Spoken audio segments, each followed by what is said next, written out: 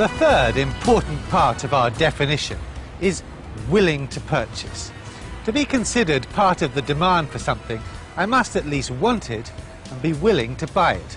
So, now, let's assume for one fantastical moment that I'm mega rich. So, now, I might be able to afford this fine Aston Martin, but since I'm not James Bond, I'm far too sensible than to spend 2.6 million rand on a new car. So, while I might be able to purchase it, because I'm not willing to, I'm not considered part of the demand for this Aston Martin.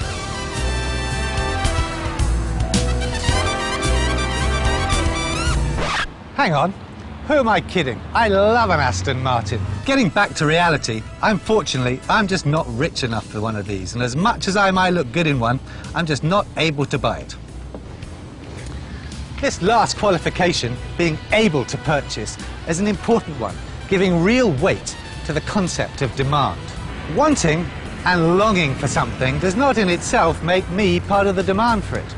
To be part of the demand for it, I must also be able to purchase it. So, much as I'd like to be, I'm not part of the demand for this Aston Martin because I don't have the 2.6 million rand I need to buy it.